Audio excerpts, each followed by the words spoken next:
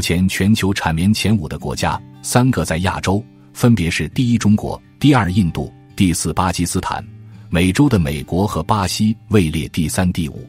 而在这五个国家后面，跟着的是一个中亚小国乌兹别克斯坦。然而，在冷战时期，乌兹别克斯坦是全球主要产棉国，全球第一棉花出口国。这里是苏联最重要的产棉地，曾承包了苏联百分之七十的棉花产量。在干旱的中亚地区，乌兹别克斯坦靠棉花创造了经济奇迹。该国曾是苏联仅次于俄乌的强大经济体，被莫斯科当作突厥民族发展的标杆。冷战时期，乌国人民围着棉花生存，几乎所有劳动力都在这条产业链上。农忙时期有全国夏天的景象。在经济发展的推动下，当地的人口也非常密集，占到整个中亚的一半。城市化程度、识字率、高等教育率都是中亚第一。但苏联解体后，乌兹别克斯坦失去了苏联统一调配的经济制度，棉花产量下降，工业也一蹶不振。虽然总统卡里莫夫强势控制政治，让乌兹别克斯坦平稳了几十年。但该国经济已经不复当年之勇。那么，作为中亚第一大民族，乌兹别克这个民族有怎样的过去？该国的棉花产业有哪些风云故事？棉花产业疲软后，乌兹别克斯坦的未来在哪里？乌兹别克族是中亚第一大民族，也号称是最大的突厥民族。全球有近五千万人，五分之三生活在乌兹别克斯坦。中国也有乌兹别克族，但人数较少，刚过万人。乌兹别克这个民族虽然体量大，但形成时间较晚。乌兹别克也叫越级别、越族伯，这个名字作为政权出现的时间不超过六百年，因为乌兹别克汗国直到十五世纪初才出现。但根据中亚历史学研究，乌兹别克人在十世纪时已经基本形成。这是一个说着突厥语的雅利安民族和突厥民族混合体。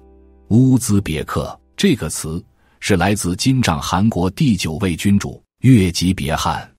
月吉别汗在金帐历史上被称为清真汗。他为了争夺大汗位置，借助伊斯兰教士的力量，让金帐汗国全面伊斯兰化。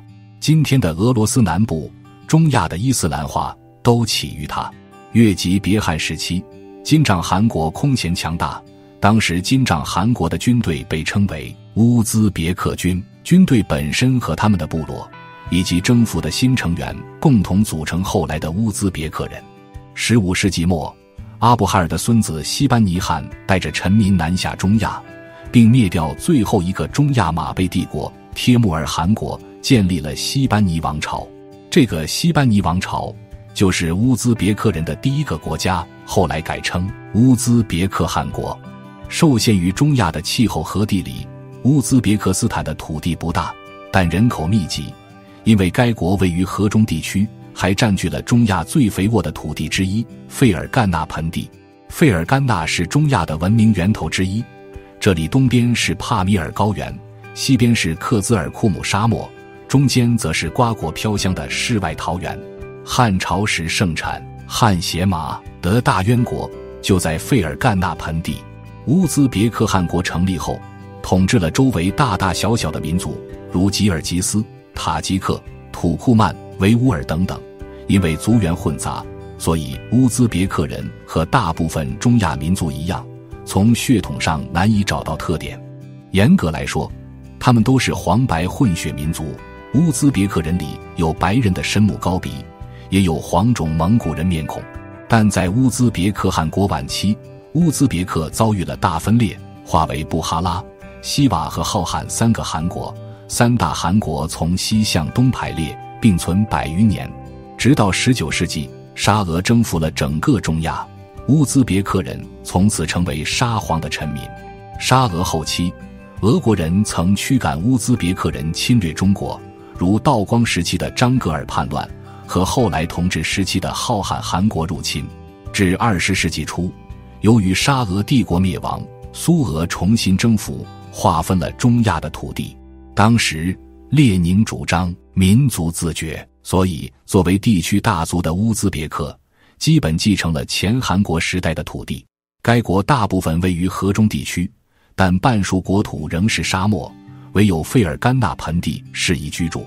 近百年来，乌兹别克斯坦人口中心在这里，首都塔什干也在这里。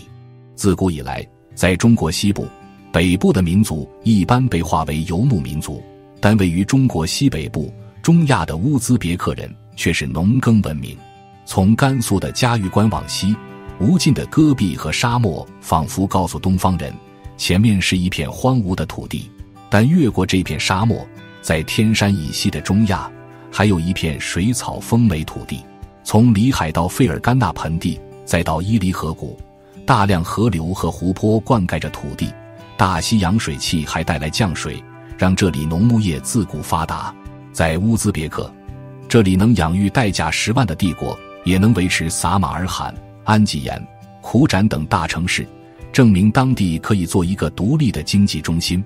在乌兹别克，当地的农业是老本行，除了稻、麦、瓜果之外，这里有棉花、胡椒等经济作物，但并不是主力。在苏联时期，按照苏式经济的分工原则，各地遵从莫斯科的命令。在全国经济体中扮演一个角色。虽然苏联国土很大，但整体都处于高纬，很多南方的作物难以生长。典型的如水果、茶叶、橡胶、棉花等作物，在俄国土地上基本不长或者收益差。因此，苏联只能让南方的外高加索国家和中亚负担这种工作。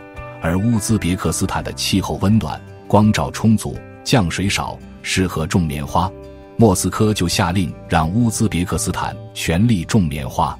自此，乌兹别克斯坦开动棉花战车。该国中部开辟有大量棉田，苏联投资兴修了水利设施，用大生产运动整理田地，以集体农庄形式统筹劳动力种棉。到了二十世纪后期，乌兹别克斯坦的棉产量一度超过四百万吨。占苏联总产量的百分之七十以上。为了乌兹别克斯坦的发展，莫斯科还打来大量补贴，收购他们棉花。乌兹别克斯坦能低价获得其他国家的粮食的畜牧业产品、农机、油料也从来不缺。在苏联机器的扶持下，乌兹别克人看似无忧无虑，但事实上，棉花种植给国家带来不小的负担。该产业很费水。这对干旱的乌兹别克斯坦是个压力。虽然有苏联修建的水利设施，但这套系统效率差、浪费大。阿姆河和希尔河的河水被大量利用，导致咸海萎缩，现在已经基本干涸。此外，棉花种植还要用大量农药、化肥，久而久之造成土地盐碱板结，难以种其他作物。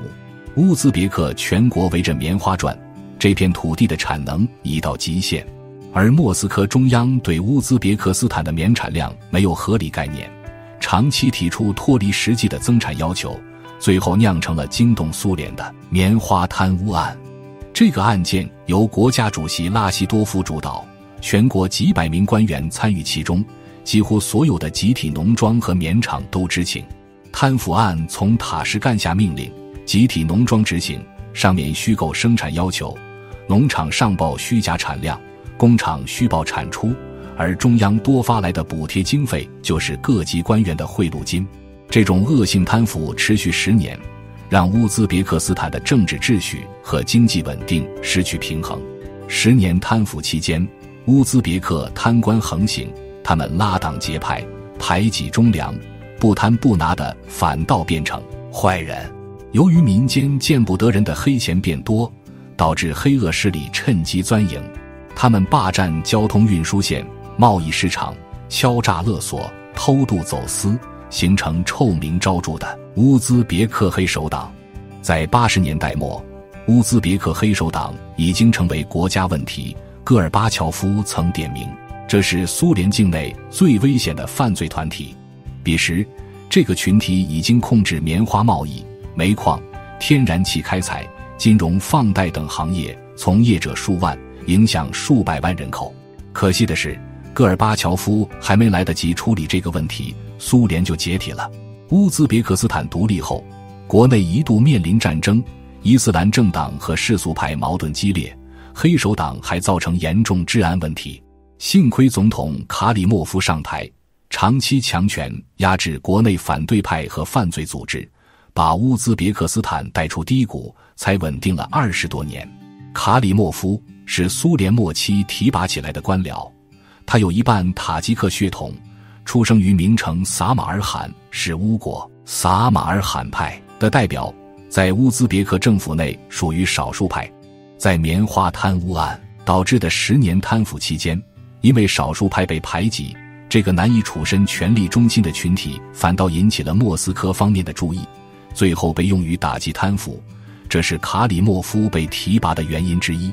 卡里莫夫手腕强硬，在国家独立后打击宗教极端主义，打击黑手党，还力排众议压制改革派的经济市场化要求，保留国有体制，让乌兹别克斯坦没有在九十年代发生动荡。